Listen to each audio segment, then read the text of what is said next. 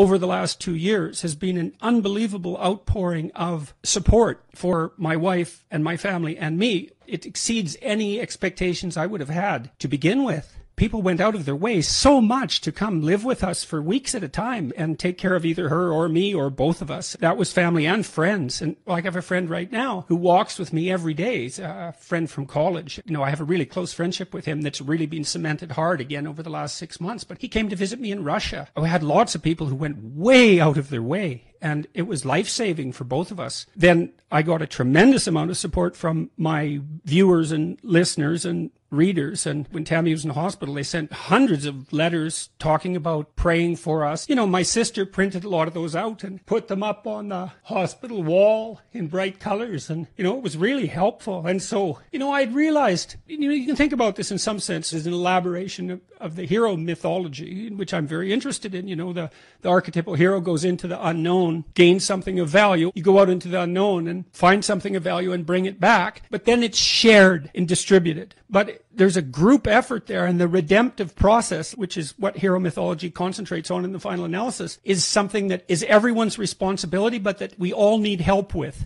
It's so interesting because it's your problem, but you can have help. It's okay that you have help, that everyone is on board. I understand what that means more deeply now. I'm trying to let other people speak. I mean, I interrupt a lot and I talk a lot, but I, I'm trying to highlight the accomplishments of other people as much as I possibly can. And I'm really happy about that. And it's really necessary. There's no negative to it at all.